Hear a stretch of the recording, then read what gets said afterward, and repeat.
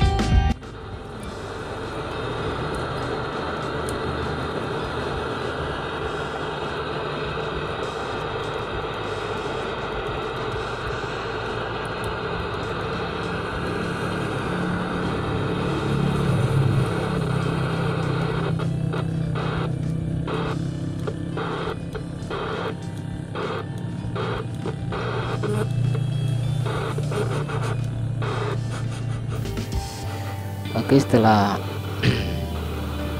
kita goyang-goyang pada soket uh, itu ternyata pada kesalahannya pada soket satu ya pada skematik ya. Oke kalau kita perhatikan dari skematik uh, diagram TR79 50 dia pada yang bermasalah itu di soket ini ya. Soket satu. Pada kabel koaksial ya. Nah, di sini inernya patah ya. Iner pada koaksialnya putus di dalam. Kita perhatikan ini untuk lokal receipt ini datangnya dari sini.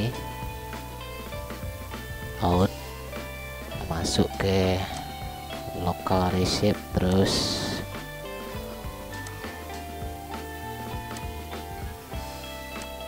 nah bagian uh, RX unit. Penguat. Ini band pass filter lilitan. Ini mixer. Nah ini dia jadi sinyal dari local receive itu tidak masuk pada bagian mixer uh, pada receive. Nah itu dia. Untuk kasus yang pertama ya. Ya di sini kita tes uji pakai meter mulai dari lokal TX itu tidak ada yang uh, berfungsi ya.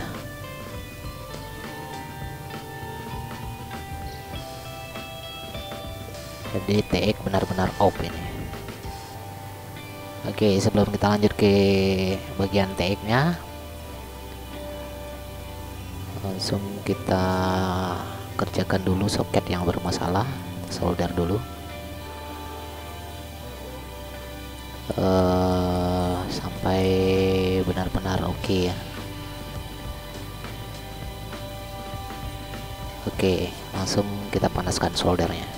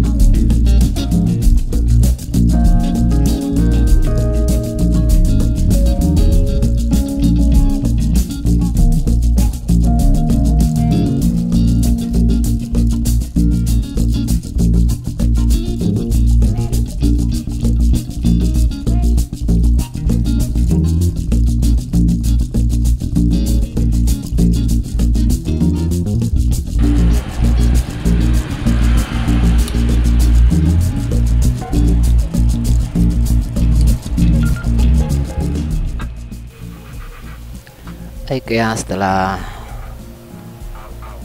oke okay, soketnya. Kita uji lagi.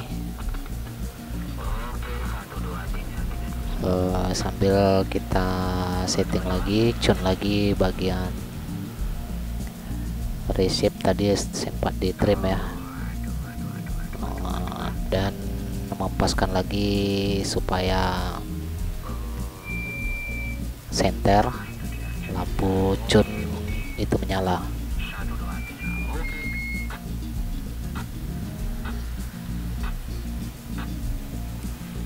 Oke kayaknya udah sip. Next kita langsung eksekusi bagian tag kita cek tegangan-tegangan yang ada dulu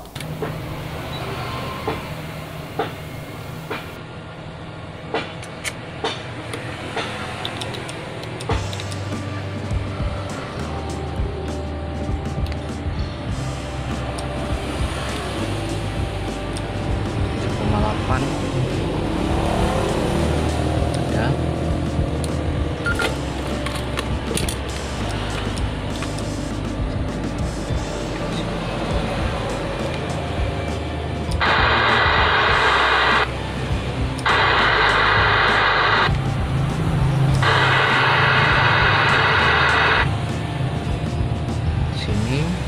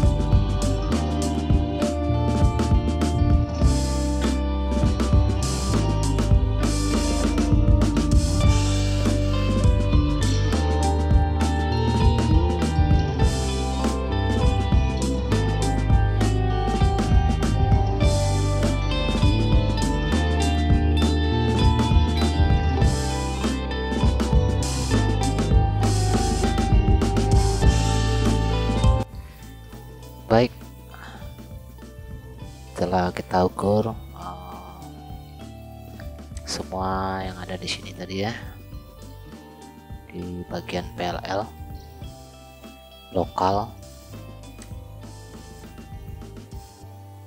Jadi di sini uh, tegangan 8 voltnya ada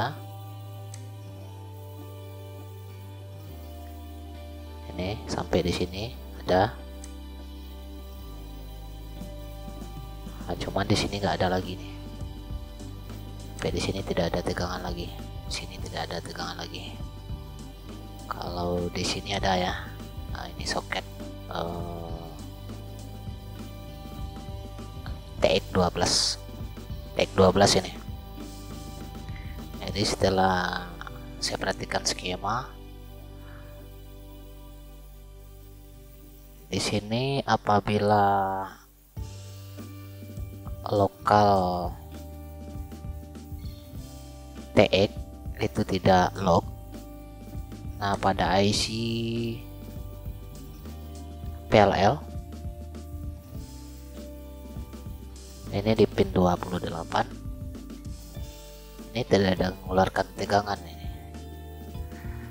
Tidak mengeluarkan tegangan dan akhirnya di output Q20 nah ini tidak akan keluar tegangan ya. Jadi kesalahannya di sini karena udah di pelintir-pelintir di TC4 ini. Jadi PLL tidak lock lagi pada frekuensi kerja. Nah itu dia kesalahan atau kasus yang kedua ya pada TX nya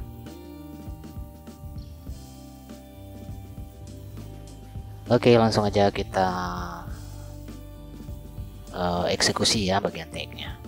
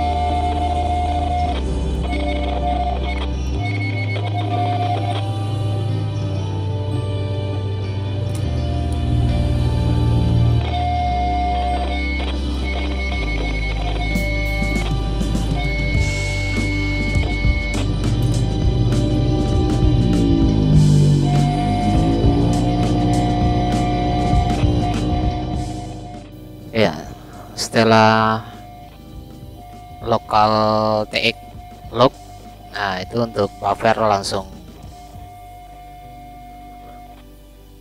Mengeluarkan tegangan langsung mengeluarkan RF ya.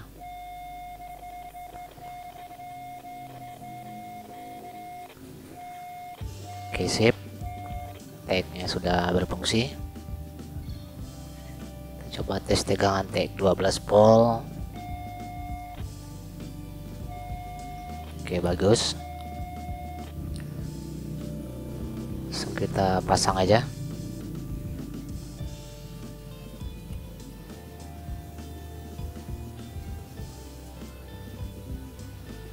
Kita uji lagi. Oke. Driver langsung berfungsi ya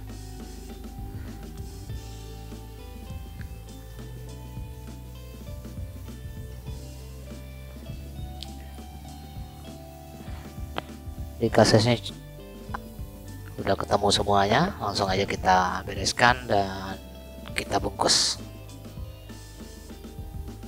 Siap dicairkan ya. Kita uji pada blok final pasangkan pada bagian final.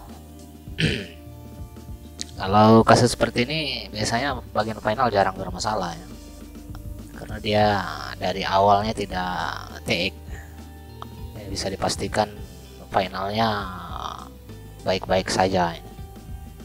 Oke kita tes output pada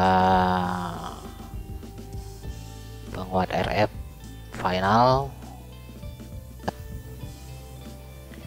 Ya ini dia hasilnya normal ya 55 watt